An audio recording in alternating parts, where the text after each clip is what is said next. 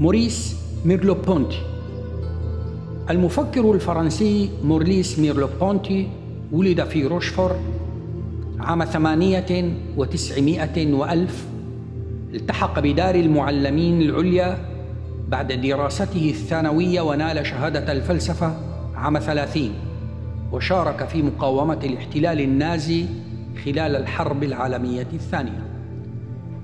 نشر عام 42 كتابه بنية السلوك. وعام 47 فينومينولوجيا الإدراك. وفي العام التالي المعنى واللا معنى عين عام 48 أستاذا في جامعة ليون وتولى رئاسة تحرير مجلة الأزمنة الحديثة مع جان بول سارتر وشغل في العام التالي لمدة ثلاث سنوات كرسي علم نفس الطفل والتربية في جامعة السوربون ثم دخل الكوليج دو فرانس عام 52 كما نشر ميرلو بونتي عام 53 كتابه مديح الفلسفة وأدى نشر كتابه مغامرات الجدل إلى القطيعة مع سارتر وفريق مجلة الأزمنة الحديثة بعد أن ذاعت شهرته وتصاعدت.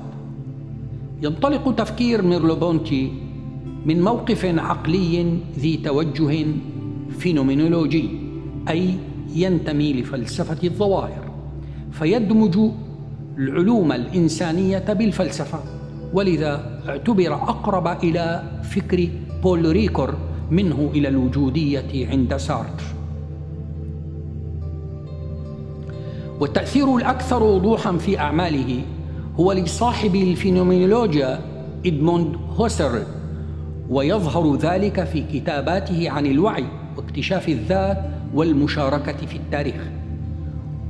ويبدو من كتابات ميرلو-بونتي أنه واقع في بعض المسائل تحت تأثير الماركسية وهو يعرفها أكثر من غالبية الوجوديين الذين عمل معهم ويبدي تفهما واضحا نحوها لكنه أكثر تعاطفا مع ليون تروتسكي الذي انتقدها.